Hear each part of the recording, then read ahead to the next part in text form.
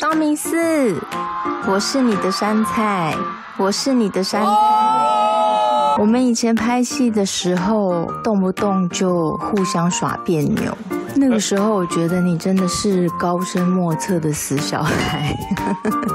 现在你反而变成一个大哥哥，然后又变得开朗，又变得更有魅力。你是我人生中第一个男主角，道明寺。山菜永远都在。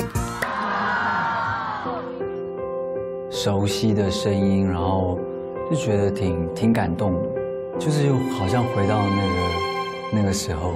道明寺。